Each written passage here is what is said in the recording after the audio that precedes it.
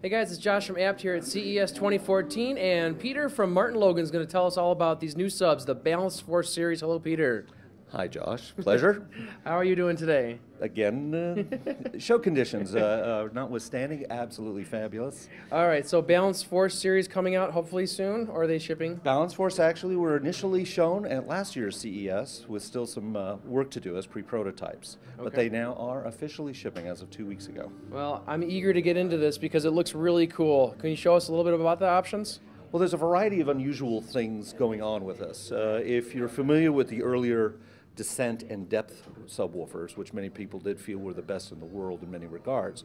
We had used three drivers to cancel any cabinet vibration that would occur, because anytime something is ringing, it becomes a speaker. The wood of a cabinet would ring and smear the sound, making many subs sound dark, muddy, dirty by going to the driver arrays in the original Descent and Depth, we were able to use the vibrational energy from the drivers to cancel any vibration that would occur inside the cabinetry. Now we jump ahead 13 years, and after two and a half years of development, we have now the Balance Force 212 and 210. Going from three drivers now to two larger drivers with much more powerful amplifiers, 3400 watts in the case of the 212 we were able to keep the cancellation properties of the original depth and descents, but increase output by over 6 dB as compared to the models they're replacing.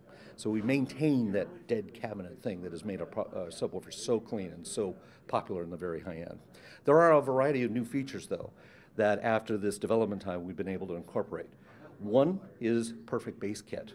With using a microphone setup, software based on your computer, we're able to measure the subwoofer's interactions with your rooms and essentially flatten out any irregularities that are going to be caused by your room acoustics, making for a perfect bass inside your room. And that kit comes with them and the software you need? It's an additional charge of $99 retail for the full microphone, stand, software, and the cabling. Some people may have already existing systems inside upper end preamplifiers, so that's why we have it as a separate accessory kit. Or a dealer may buy one kit and service their customers okay. as a need to know basis.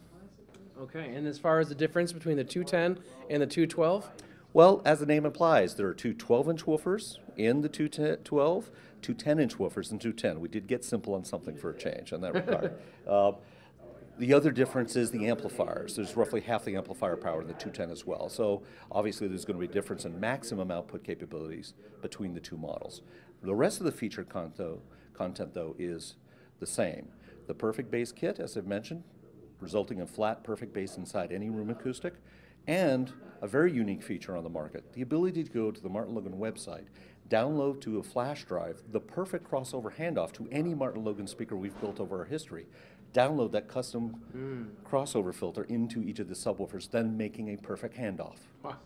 Well done. yeah, that, that one's a perfect one. There's also a number of practical improvements that have been introduced here too.